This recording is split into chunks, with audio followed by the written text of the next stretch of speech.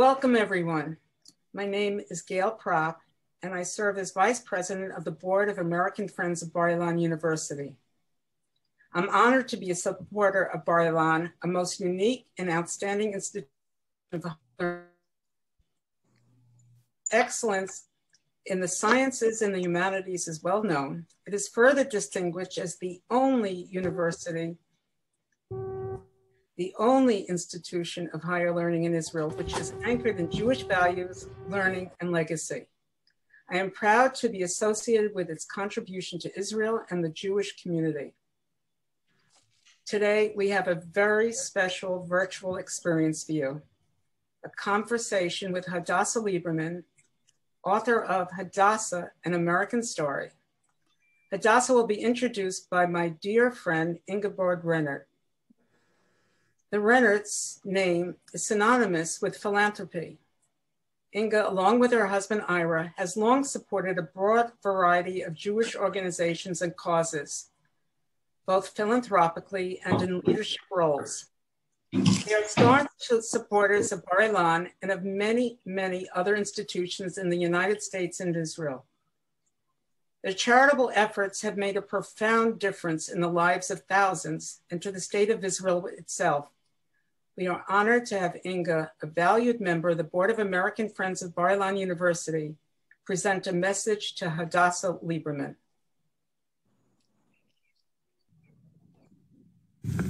Hadassah, you have no idea how honored and privileged I feel to address you.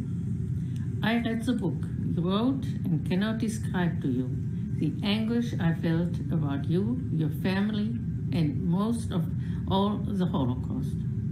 Your entire life was lived being a child of survivors of this horrendous genocide, losing your close family, and thinking of the tragic end of their life. As you, my family went with Elie Wiesel of blessed memory to Auschwitz, and like you, we shall never recover from the atrocities which happened there.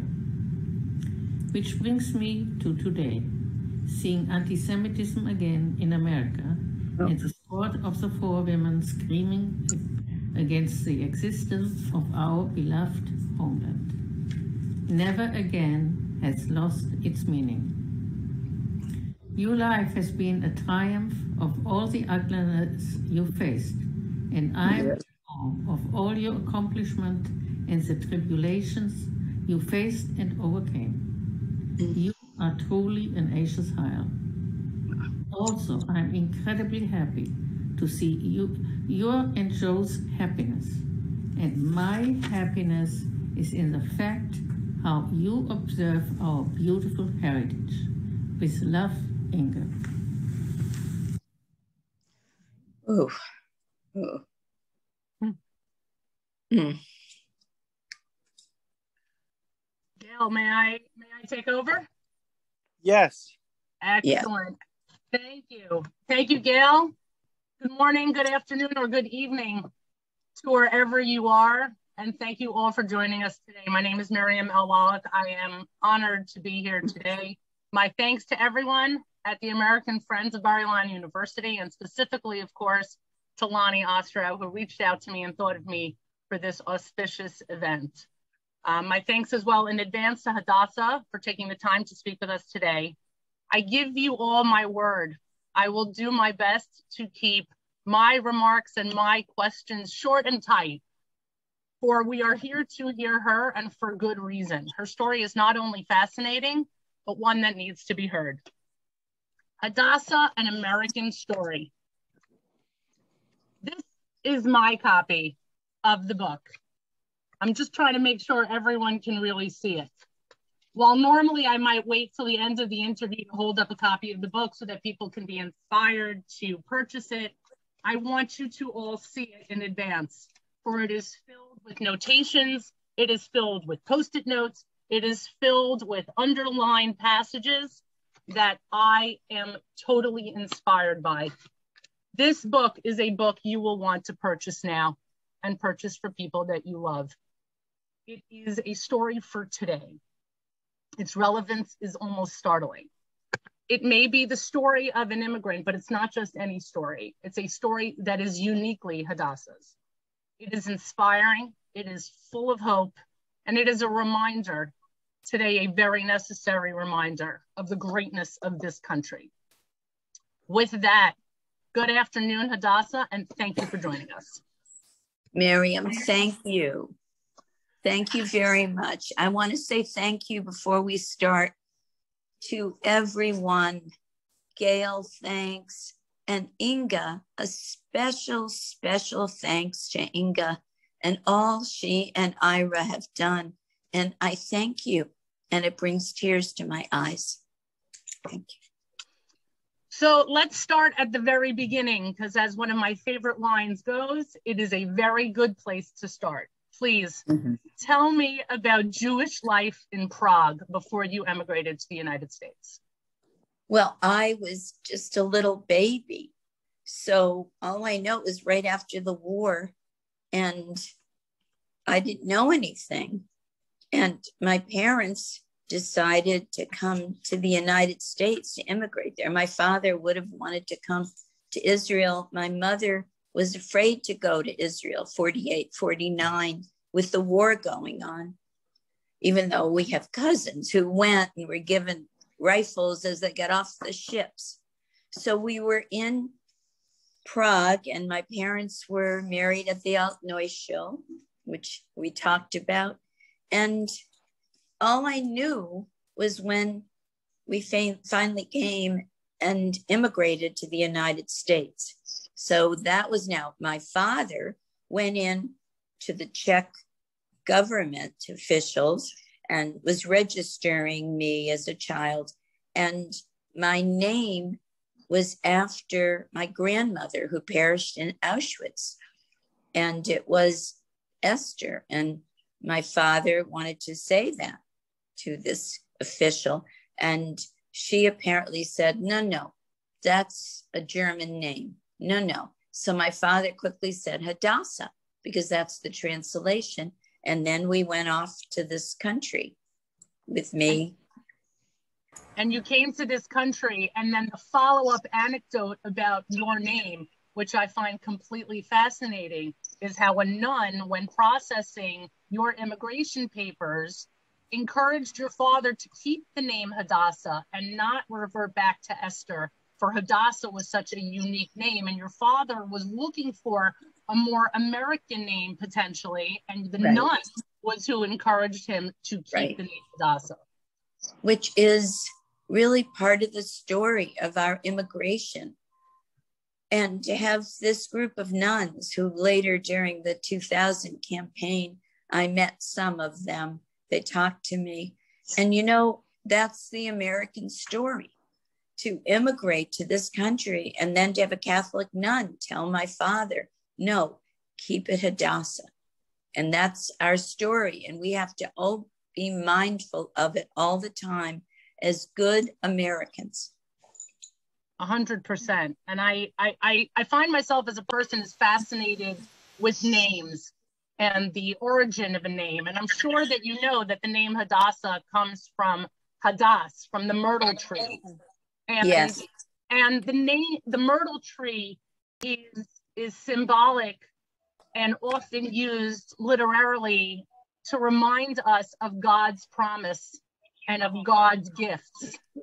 And I wonder if you often, or if you've thought about the fact that you and your story emulate God's promise and God's gift. You are a self fulfilling prophecy. The reason I wrote the book was not out of an ego thing. The reason I wrote the book is I emanated from it, came out of darkness. My mother, Auschwitz, death, liberation. My father coming out of slave labor camp. And that was amazing. And then to go through my life and to end up as the wife of a United States Senator and with the campaigning, it was something I had to do when I found my mother's diary after her death. How surprising was that diary to you? shocking. And it's reprinted in the book. It was shocking because she told me odds and ends here and there, my father also. But I never knew some of these details as she walked in, entered into Auschwitz, and liberated from Dachau, and the latrines, everything, the bunk beds, all of that awful information which I had to find out more about as I went through my writing. And, you know, the whole thing, when you look back at it, it seems more shocking than before. And then you hear bad words on the streets today. And we're saying, wait a minute, what is this?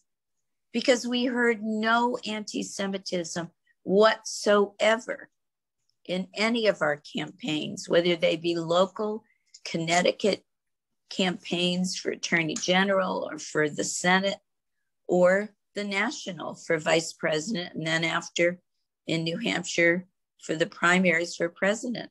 So we're very lucky. We never, and people along the way of the campaign would always say, and many times they were Jewish because they were surprised. Is that real? Is that the truth? I'd say, yes, that's the absolute truth. And, you know, as Jews, we have to know our history, we have to believe in our history, and we have to live our lives accordingly. But also, we have to be able to move forward with the state of Israel as part of our legacy. We really have the gift we have to lose for, move forward with all the time. 100% the with a as a person who is so grounded and so rooted to continue the myrtle tree metaphor have you been mm-hmm. back to prague yes we went i went back to prague with joe for two different official events and it was amazing we walked past some of the places that my father had talked about and just had a real sense of things yeah it was incredible and Shirley Temple was the ambassador at one point in Prague, the American ambassador. I remember seeing her and it was so shocking. Shirley Temple, the ambassador of Prague. So it was a just all the beautiful sights that, you know, there's so many beautiful things that we know, that we've seen, that we've toured. And then when you hear awful recollections, memories about them, as a Jew, it pulls you back. You're afraid. A hundred percent. I am. I am. I'm curious if the the visits that you took to Prague were they while your parents were still with you? No, no, no, not at Much all. Later. No. My my parents would not have gone back. My father was afraid to go back ever. These were really later when now I did go to Prague one summer after I had, before I went to Stern College for two years. It was on a Zionist program that I was part of. And we went to Prague, went to Israel. But then afterwards, I went on official trips with Joe, with, you know, various leaders at that point in time. So I learned a lot from these meetings that that gave me more to think about the good and would your parents have encouraged you to go? No. When i went not to steal the questions too early but when i went to auschwitz for 2000 i remember telling before it was after 2000 and i was chosen by bill clinton's white house to go to Auschwitz. And when I told my mother I was thinking of going, she said, Is it safe for you? Can you go? She was shocked. And then I told her I had to go. I had to be there. I had to, and I went in with Elie Wiesel hmm. and others. It was amazing. Would they have encouraged? Would they have encouraged you though to go back to Prague? I mean, would that have been a part of their lives that they would have been comfortable with you seeing? I think, I think they would have felt it would have been an experience that I should see, places I should see, but they knew how much had changed after the war. So they did they didn't look, they didn't sit around dreaming about my going to any of those places. So it was one of those times that I recall, you know, okay, this is something we're thinking about, but they're not pushing my buttons to leave and go. And understood. Understood.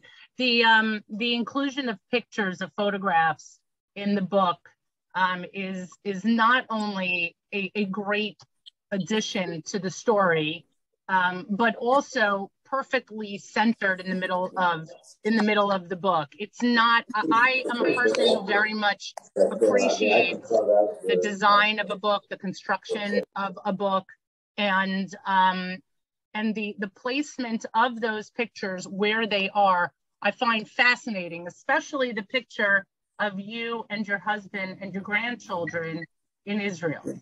And what I find yes. about what I find about that picture is something that I don't know that I would have appreciated had the pictures been at the beginning. And I'll and I'll explain what I mean. There's the picture of Senator Lieberman there. He is beaming like a grandfather surrounded by his children, grandchildren in the Holy Land.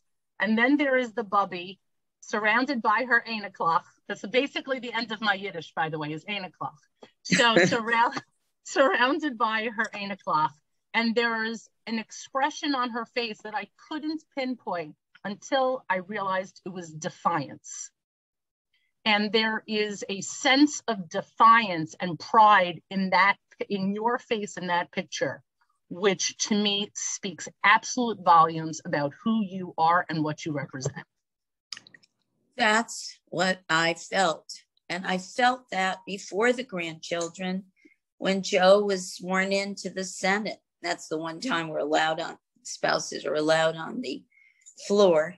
And I remember before he was sworn in, they were going through an orientation. And I was sitting next to him on the floor. And I looked at him, I said, Joey, what are you thinking? well, He's looking at the pictures around him of these, you know, well known figures. And all of a sudden, he was sitting there about to be enrolled in this private club of Senate, US Senate. And he looked at me and said, Hadassah, what are you thinking? And I said, My hand, my fist is in the air at Hitler. I've survived. I have survived, and here I am. And that touched him as it did me. And it does me now.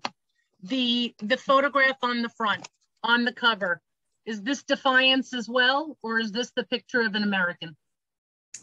You know what? It was the picture that was chosen by publishers and people. And you know, there are a few other pictures, but it's all defiance in a certain way.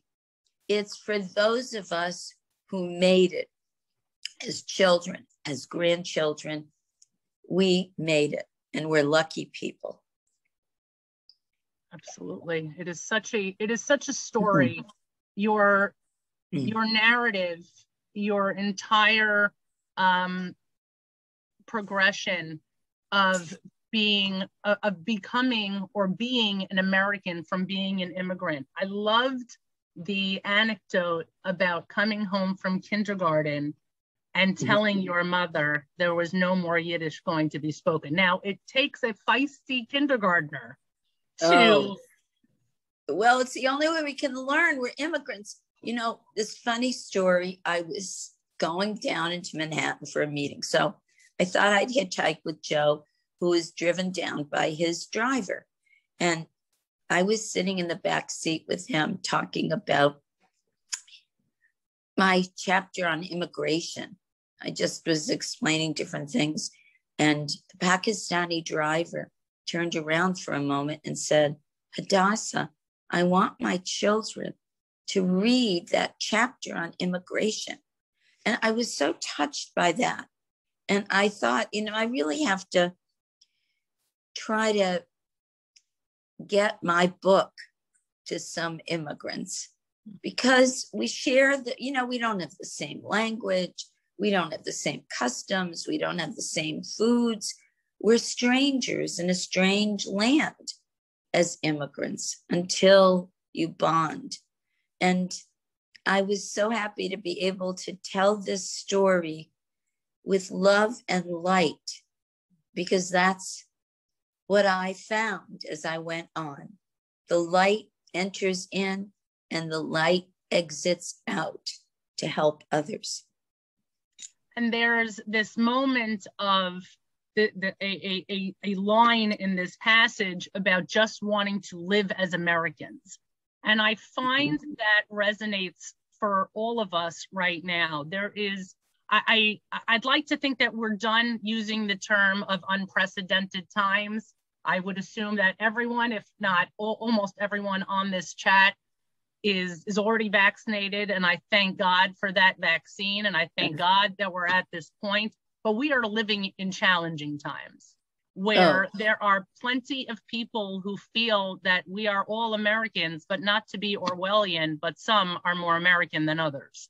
And I wonder if you if if you have a message to the immigrants in this country, if you were able to gather everyone together, people who were just coming in now, people who are facing anti-Semitism, racism, anti-Asian hate, whatever the hate looks like, what would you say to them? That hatred cannot belong in our democracy. That we, I remember my mother telling me when I was older, not the baby, that she'll never forget coming into the shores of the United States and Emma Lazarus' statue Give me you're tired, you're poor, your masses yearning to breathe free. And she was so touched by that. And we have to think as immigrants and we have to teach them. We always had to learn, you know, the statue, the all the stuff that connects. And it's very important to teach our children to respect each other, our grandchildren. There should not be words of hate in the street. We should learn to respect people. If we don't agree on the same things, discuss it. And maybe you'll be brought in more to someone else's views. But we always sat at the table. Look, sometimes I got angry at my daddy when he had an opinion that disagreed with my opinion, and I would say, okay, I'm going. I'm not going to stay for dinner. I went, and then they called me back. But that's the nature of all. It if you don't agree with people, they no longer sit and have a cup of coffee together. There's no such thing. That is totally taboo in this country. If we want to keep our democracy strong, we need to commit ourselves to being united as one country with different views and different immigrants coming to us with all the laws that we need and the care that needs to be taken, and simultaneously welcoming to ourselves, to our relatives, to our friends, and always thinking of tikkun olam, repairing the world, the Hebrew phrase that has made itself into a lot of magazine articles, books. And it's so important because it's saying it's our responsibility to repair the world. Now, obviously, that's a gigantic two words. And who can repair the world? How many people does it take? We have to repair it with our children, with our grandchildren, with our family, with our community, with our political parties. It's the obligation we have upon all of us today, especially. I, I spoken like the wife of a true statesman. Are the is the generation of statesmen over? Are we just dealing with polarized individuals who do not understand that there is a greater common good, that your personal agenda is not what's going to make this country run. Where are where is the future of leadership in this country, do you feel? I think right now, the polarized individuals who are negative are doing what, look, the internet's the biggest invention to all of us. Hmm. It's turned our lives upside down. Simultaneously, it allows polarized people to all of a sudden have a little their own little group underground that they're talking to and all of a sudden they may have words of hate that are shared with these other people so part of it is we have to we have a lot of people who are good kind true american individuals and they need to be heard more. They need to speak more. And there are too many people who are fearful, some of them, and going along with voices that if you really talk to them privately, I'm not sure they share. But in sharing as if they are positive, they do the worst to this country because these are loud leaders' voices. Leaders have to respect themselves and respect others. They are their, our teachers. We depend on them. And we can't be the minority. We have to be more of a group that comes together and is less frightened to speak. Wow. So true. We are afraid to speak. So many people are afraid to speak. It actually brings me to my next my next question about public service being a family business this I, I've joked a million times as my husband is in a family business that unless you've been in a family business, you do not know what it's like. But I can imagine, I can only imagine that that is even more so true with a family that is dedicated to public life. So I wonder if you talk about that for a moment, both as the wife and the mother of a of a, of a senator and a senator's children but also somebody with her own professional life and all that that encompasses. How does, what does that look like? You know, everything that other people encounter, whether it's, you know, kids, school, problems, divorce, remarriage, all these experiences that unfortunately are not rare. We're all coping and working. Many, most women, men work today. And I mean, of course, after this year we've had a away, there's a lot of ups and downs, but it's they're real. And the effort that each of us as individuals have to take to have a profession, to nurse a baby, to be pregnant, give birth to a baby all of those and simultaneously make sure everything's going okay at home. Because I remember through Joe's campaigns, it's not like he was going to prepare dinner, which he didn't do anyway, but you know, and these are the tasks that we all have to figure out and work very, very hard at to make sure that we do not neglect. And particularly if you've been divorced and remarried, you have new children, if you do, and their children, they're your children, whether you gave birth or you've taken them on as a family. And in that regard, that's why we never use the word step parent or stepchild. We just dismiss that because you marry someone, you take on everything with them. They have children. And I understand it doesn't work for every relationship. But if they have children, they have to be your children. I would never have married anyone if I didn't know they totally accepted my son who came in with me mm-hmm. at a young age because that was my requirement of any remarriage. So it's the same problems all over the place. That's part of why I wrote the book too. I wanted to talk about the challenges that divorce and remarriage and bonding and all this stuff entails.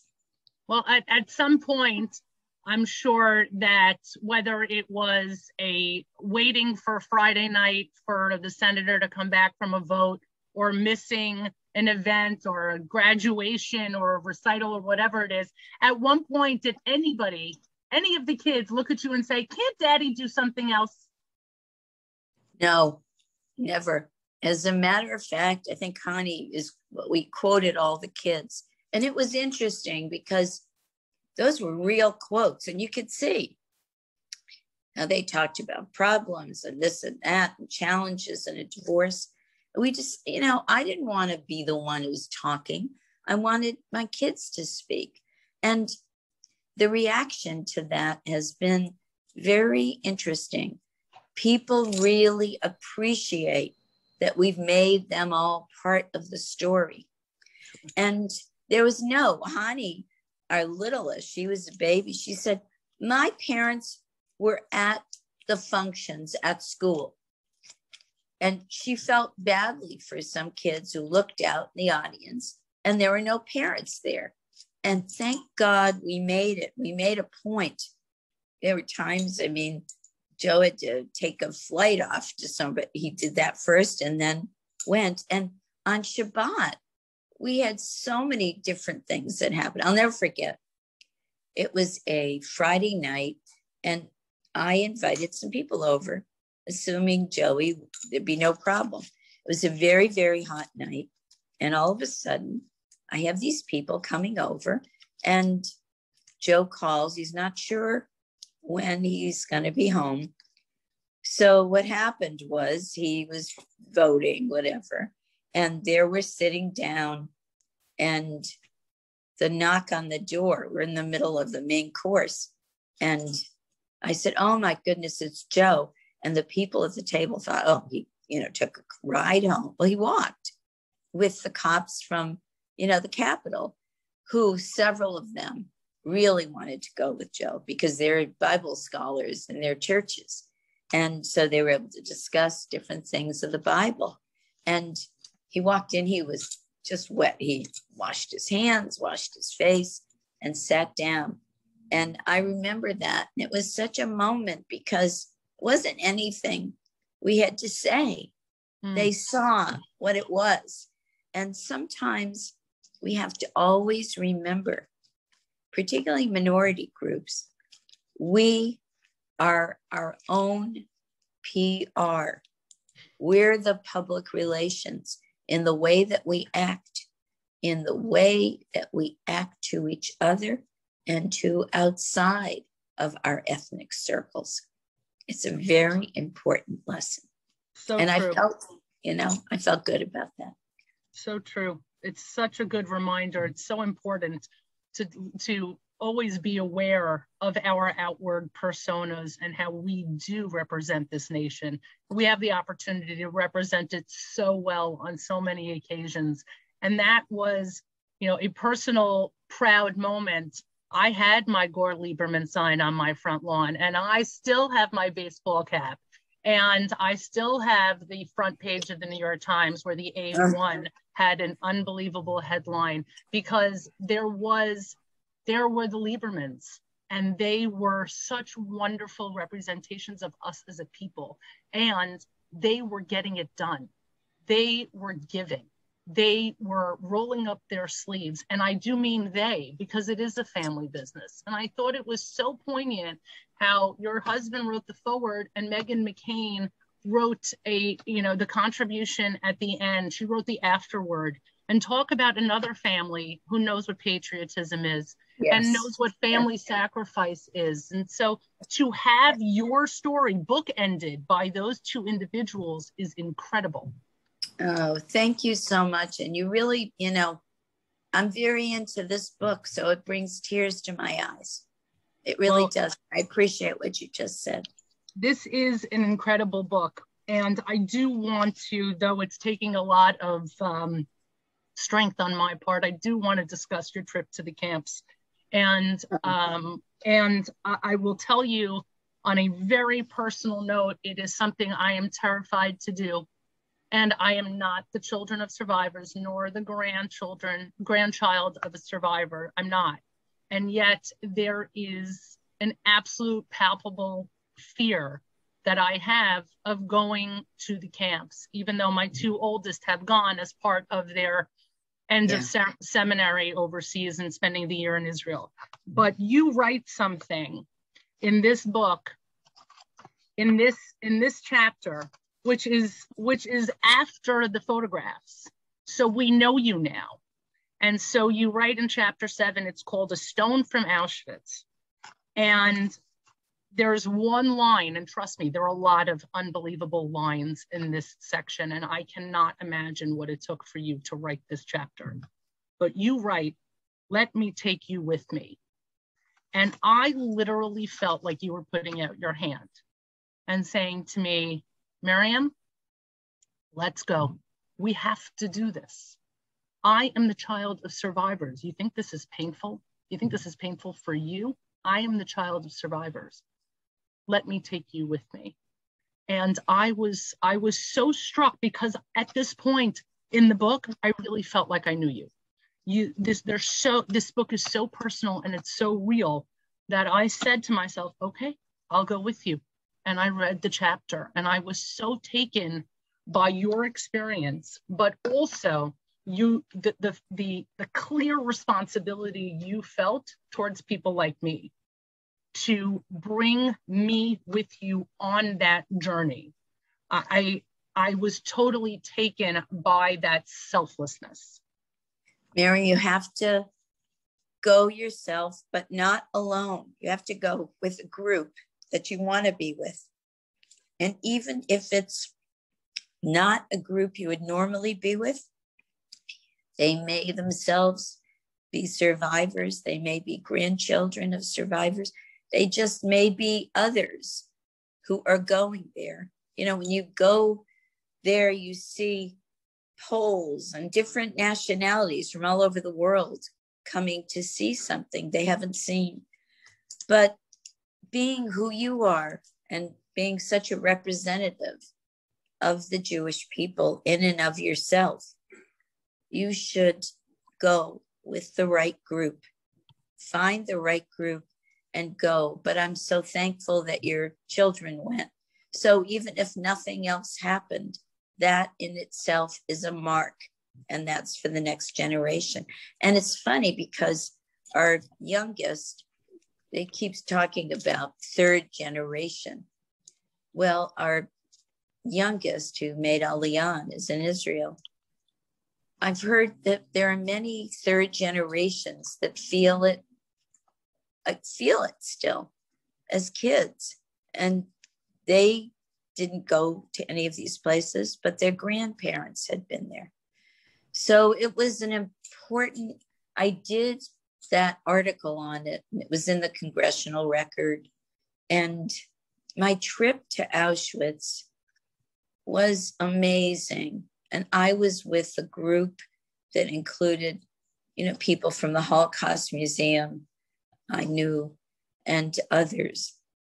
And I saw I saw my mother's bunk that she had talked about. I saw the latrines where she was talking about the whipping that took place on her sister's head, one of her sisters.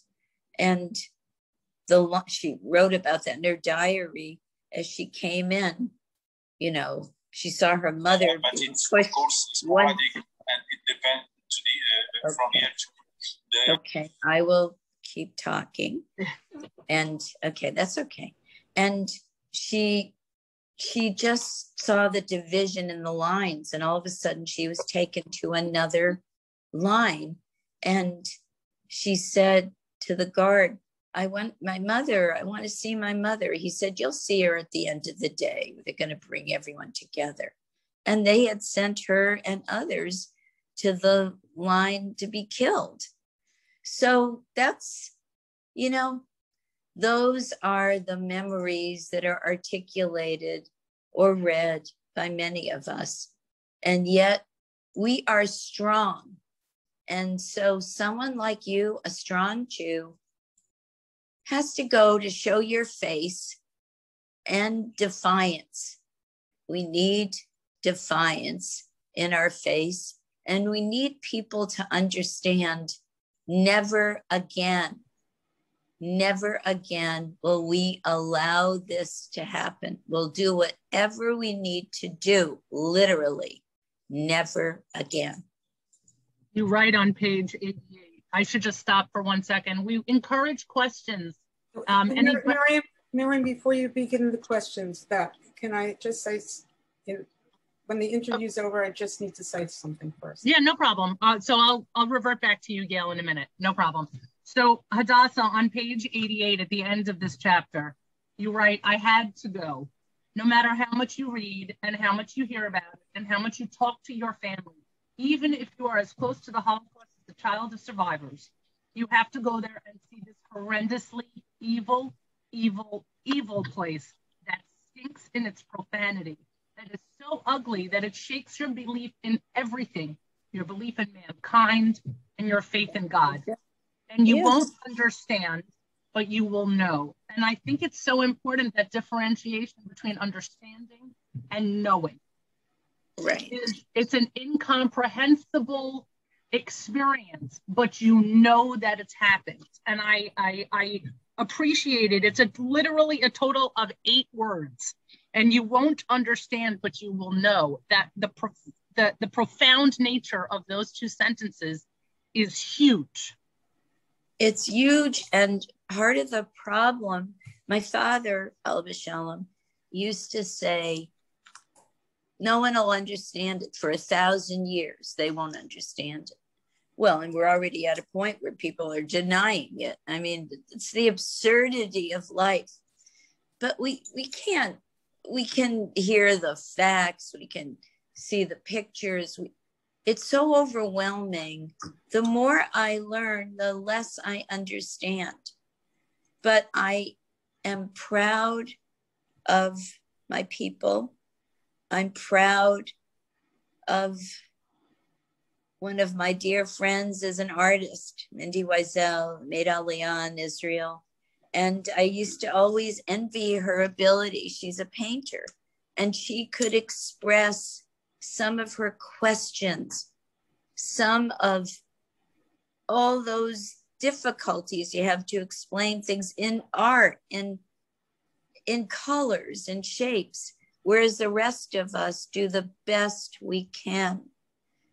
And so that's why I needed to write this book. And that's why I always say we're um, Sabbath observant and kosher but it's our obligation as a traditional family, as traditional Jews, to open ourselves up, whether it's a seat at our table, Shabbat table, whether it's a meal at our house, to people who don't believe or who question, because our history forces some people to come to that conclusion, to come to that question and no one has the answers. There's no answer. And we have to respect each other, even when there are no answers, or even when these were the answers we held on to. Wow. All I can say is wow. Um, I've already been too greedy with time. I've asked more questions than I've sort of been allotted and sort of been asked to use. Um, we're, I'm going to turn to Gail in one second. I want to thank you for this book. I want to thank you for sharing yourself with everyone, both on this Zoom and in writing. And I very much do believe that copies need to belong in every home. I don't mean just Jewish home. I don't need, I don't mean just home of immigrants. We all come from somewhere in this country but every single person who hails themselves as an American, whatever generation you are, needs to own a copy of this book. And I thank you for your time. Gail. Thank you, Miriam. Thank much you. appreciated. I mean I, was muted and unfortunately was not able to introduce Miriam L. Wallach, who was interviewing Hadassah. Before I begin, uh, one of the things that Miriam alluded to, uh, please write any questions you may have in the chat area, and as time allows, Miriam will read them to Hadassah when I'm done. Miriam is the general manager of the Nachum Segal Network, NSN. Miriam holds a master's in education from the Bank Street College of Education and a master's in English from Brooklyn College. After, a successful career as a middle school English teacher, Miriam's career evolved and became media broadcast driven, and she was hired by NSN in 2012. She hosts That's Life, Thursday, 10.30 a.m. Eastern Time, and can be found on Thursday Live Lunch, Thursdays at 11 a.m. Eastern Time, hosted by Nachum Segal. Miriam and her husband are the proud parents of six children and live in Woodmere, New York. Now, Miriam, please take over. Okay. I like to say six children and one amazing son-in-law. I don't know how to include that in the bio though. That's that's so, a fine way of doing it. Yeah. Thank you. Um, so let's go to some questions. We have a question here, uh, a question for Hadassah. If Joe had become the president of the United States and you had become first lady, how would you have handled the task of creating the White House Christmas decorations? Oh, you know, look, I'm, we've been asked that question before. We would have to have everyone included. And what does that mean? There would have to be the Christmas decorations that had to be included, the Hanukkah decorations, the Islamic, you know, the um, everything. Kwanzaa. Yeah. And Eid. Exactly. Right. Right. So you'd have to do that. But you, I would want to explain things, the mm. differences, or just be a little more um, interested in the research behind things. And to bring people, you, you couldn't. You're the president, you got to go with whatever it is. And so you do everything. Knowledge is power. Knowledge is power, right. and knowledge begets understanding. So using that as a we, we what we like to call in the classroom a teachable moment. Right. It's a teachable moment, and that's how I would handle it. Amazing. And probably you'd want representatives from each of these communities to talk about stuff when there's, celebrations go on. There's another question posted. This is um, this is like quintessential Jewish geography. My husband and I made Aliyah in 2018. This is from Karen Rebo. My husband and I made Aliyah in 2018. Hani and her family sat right behind us on the flight. How are they doing? Oh, they're great. Thanks for asking. They have their little boy, baby, and he's not quite two. And all the kids, they have great Hebrew and they love it. And they've been at, you know, a few different places and going to a different place. They keep switching because they want to sing a little quieter. And everything's great. I'll have to tell her. Wait, what's your what's her name? Did you say? Oh, Karen, give it. Karen Revo. Karen Revo. I'll tell Hani. That's so funny. That's but great. They're great. Thank God they're great. Have you been able to post COVID? Have you been able to be back? Oh yeah, we went. Joe had some meetings with the foreign ministry of Israel before Pesach.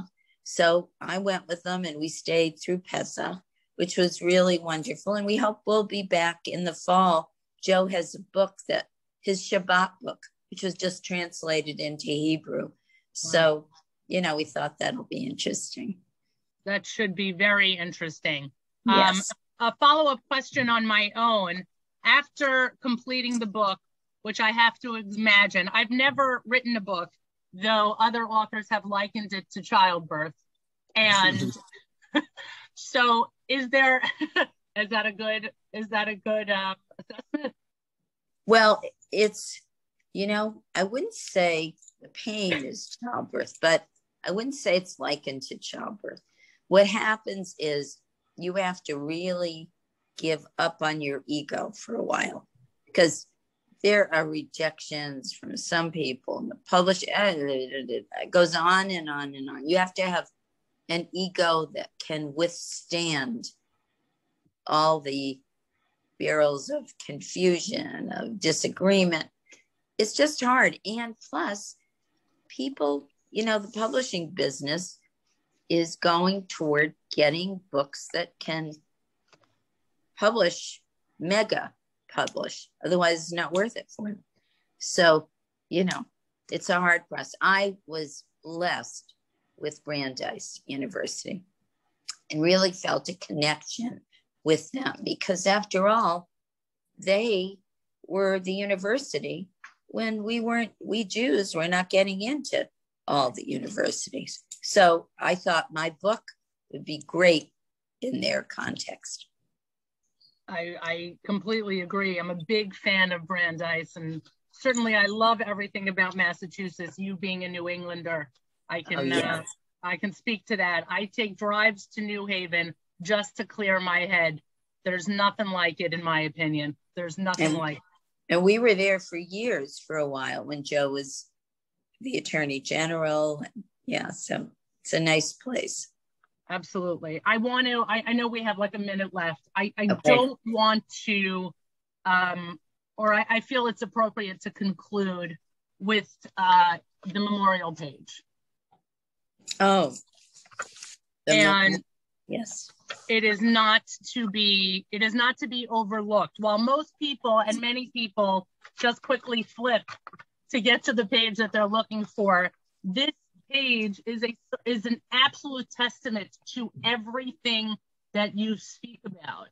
And um, I, I I wonder for a second, number one, how many of these names have been passed down?